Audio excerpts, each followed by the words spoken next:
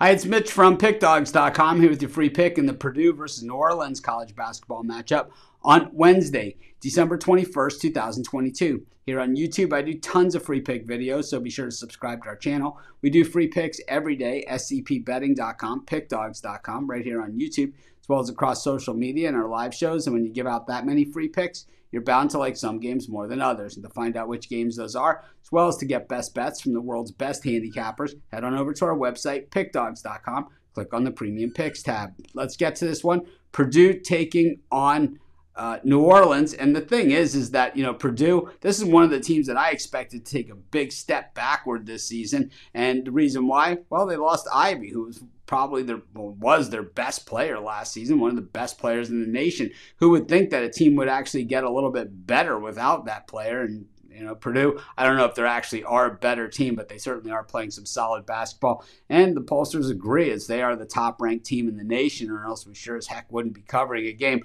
against a team like New Orleans, who's been pretty much the dregs of college basketball this season.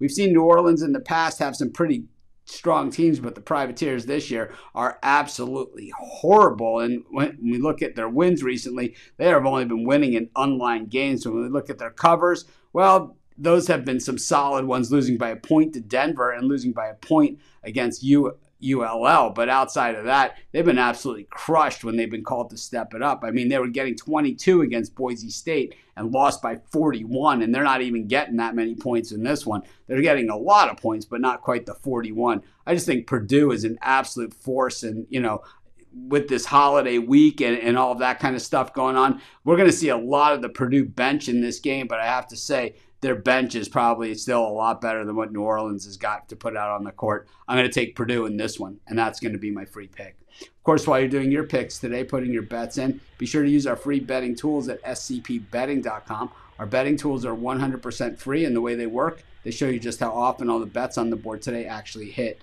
Then they show you today's odds, and from there, you can assess the risk reward, putting yourself on the bets that come in the most and pay the most. That's how you make money betting on sports.